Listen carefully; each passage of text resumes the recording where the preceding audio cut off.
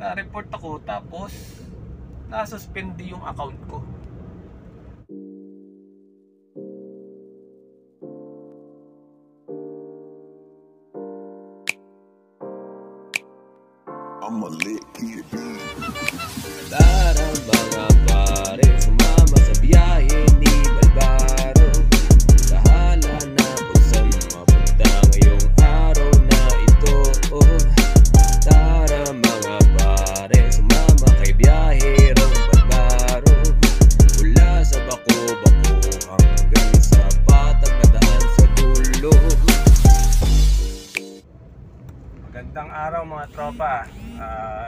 Ah, first pick up ko sa Valenzuela, Kanumay, pa, ah, paano to, pa Angono.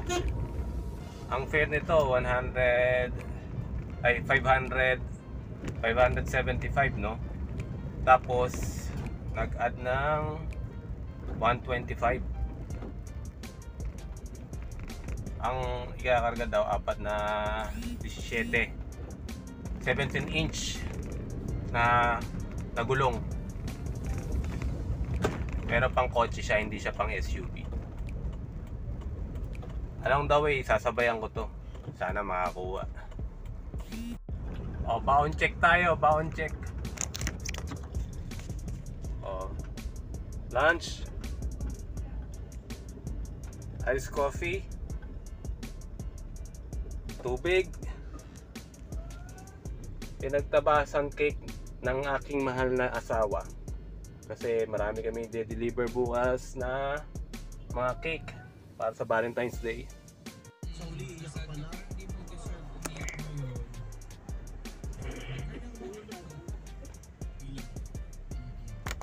Ka-pick up na ako dati dito. Dito pala yun. Gulungan Okay,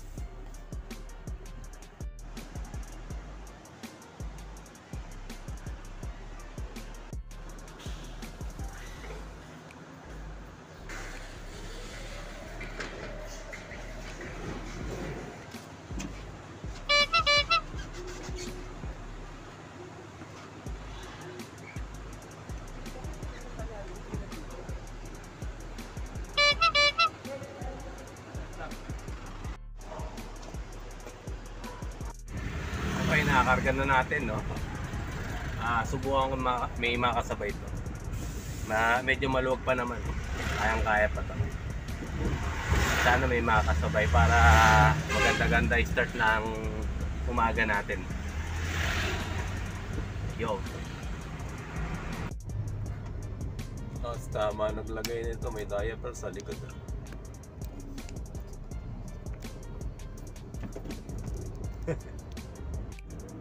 Ayun, ah 10 kilometers na lang. Wala tayong nakuhang kasabay. Medyo pasaliwa lahat eh.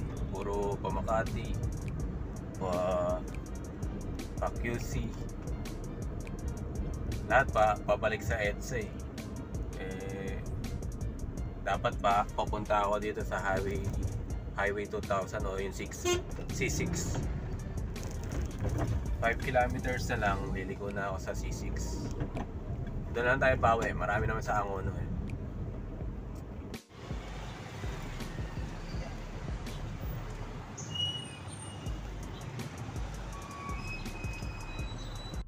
Kaya muna tayo mga tropa.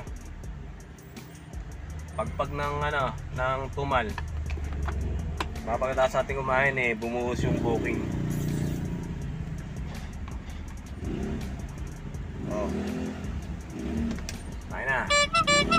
Yun mga tropa, after 1 hour, nakakuha tayo ng booking from Taytay to Caloocan North. Sana bago ako makalabas ng Taytay, makakuha ko ng pangalawang booking. Kasi ano lang daw to, 3 bundles ng damit. Ah, damit ba o tela? Pero pagka sinabing bundles, malilit na yung mga plastic. Nasa 619 yung fare. Bali na ah, less almost 500 na lang matitira dyan. Maganda na rin, lalo pagka nasabayan ko to. Nako. Pwede na. Second booking pa lang to. Time check 3:06 p.m. Smiling Iran. Oo. So kung ang gusto niya, sana is tanggalin si First Class Jacob Patricio, leave it to Colonel Eric De Maala to investigate. 2 o'clock to 4 p.m. Ganyan mga sistema ko eh. Pampatanggal ng antok ba? Ano yan? Ah, tulpo. Ano muna tayo? Chismoso muna tayo habang nagtatry. relasyon. Napakainit! Woo! Oh, di ba? Nakaka Ah!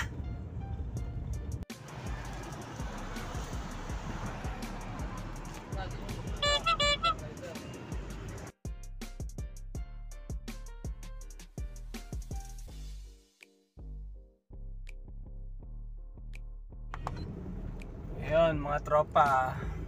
Tela, tatlong rolyo. Kayang-kaya sa bento. Maluwag pa. Yan lang. Tatlong bundle pala tawag dyan, hindi roll, rolyo. Ewan ko kung ano tama. Kung rolyo ba o bundle. Nagbabalance si kuya eh oh. Inuligagan ni kuyang traffic enforcer. Nawakan pa sa sa kamay eh.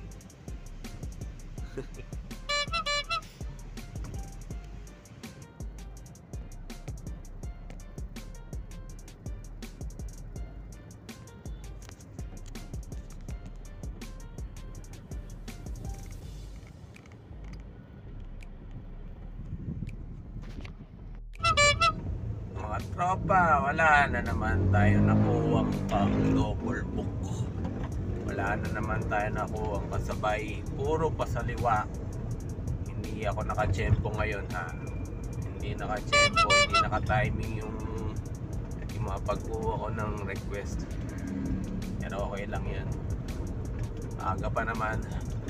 Time check, 5.37. Makakakuha pa tayo niyan. Pa? Wala, wala po nasabay.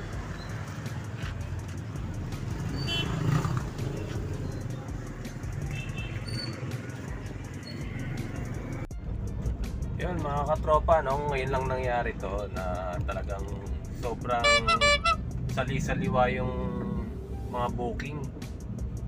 Hindi ko ma-double book kasi palayo palagi ito sa drop-off ko.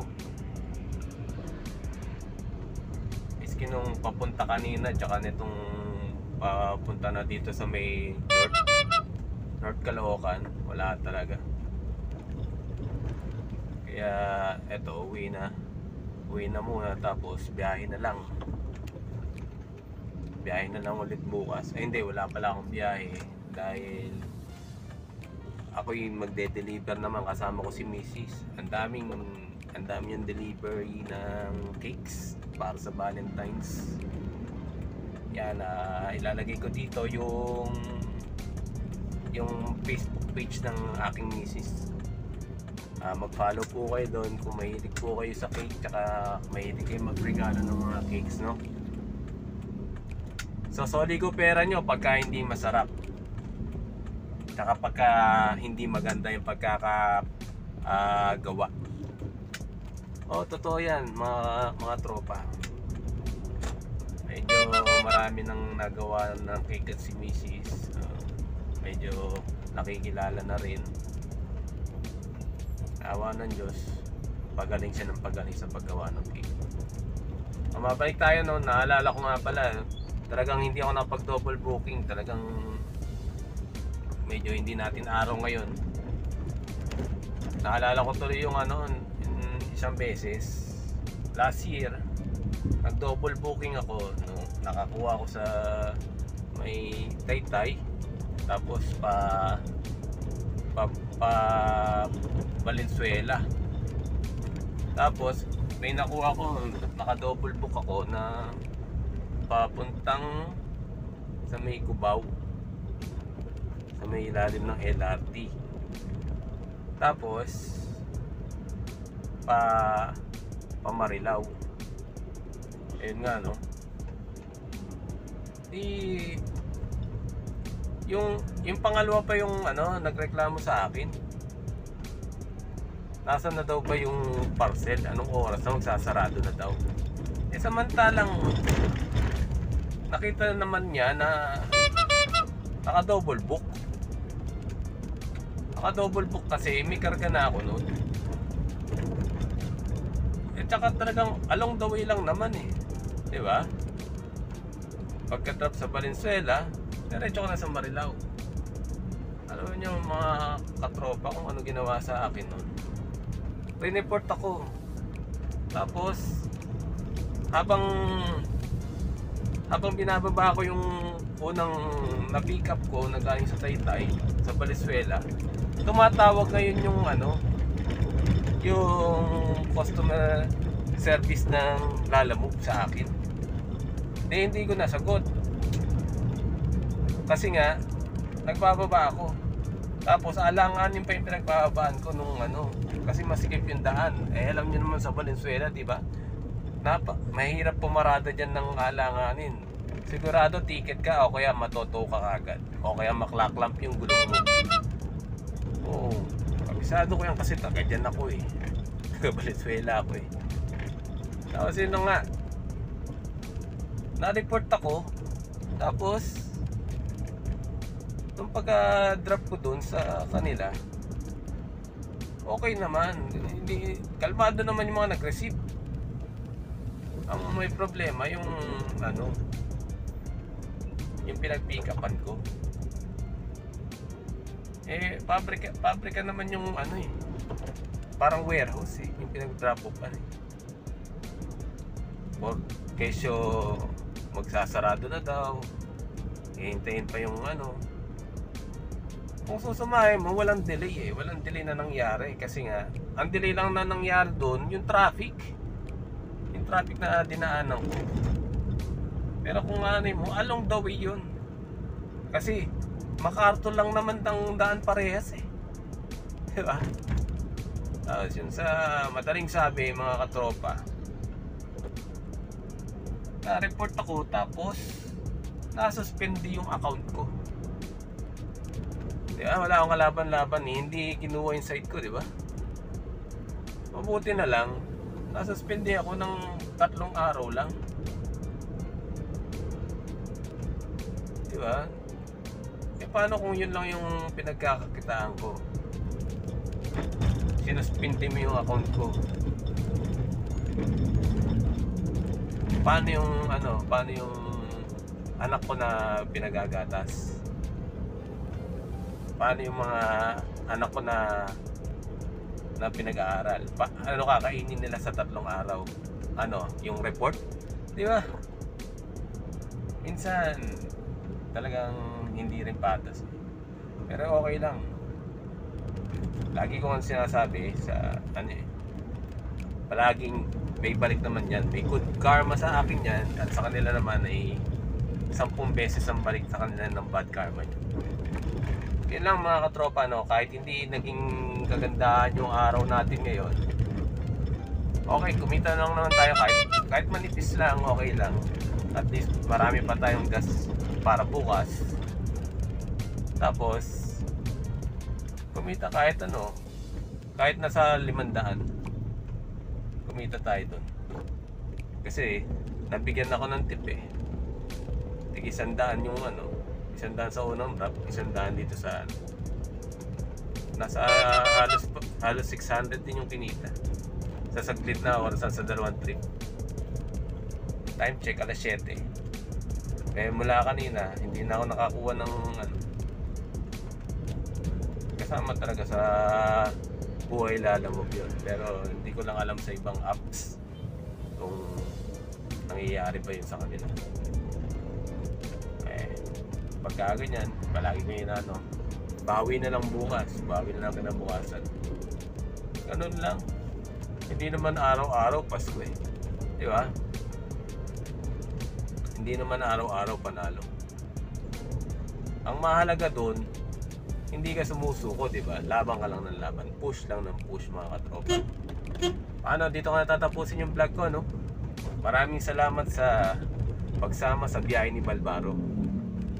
Maraming salamat ulit sa pagsama kay Biyaherong Balbaro. Out!